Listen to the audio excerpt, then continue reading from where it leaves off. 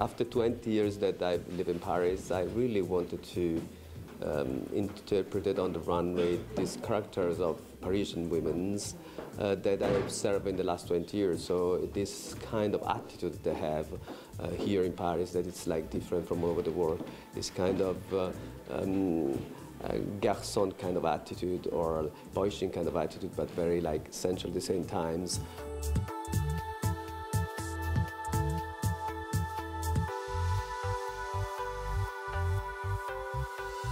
Uh, there is always like, I don't know, the, the tailoring jacket from the boyfriend or like the flat loafers, like uh, to run in the rain, or there is like uh, uh the little black dress or the boucle, the boucle uh, tailleur or uh, a, a, a, pink feathery couture touch that's, that's very Paris.